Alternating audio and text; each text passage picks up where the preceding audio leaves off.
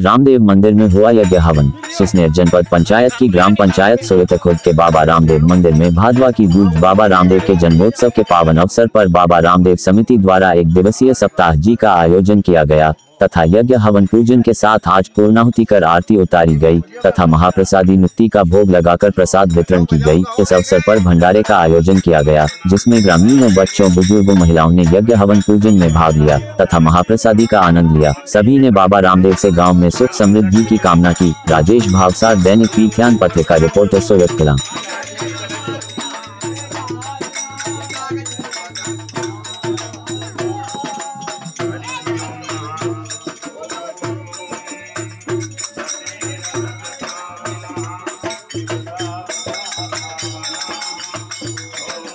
Thank you.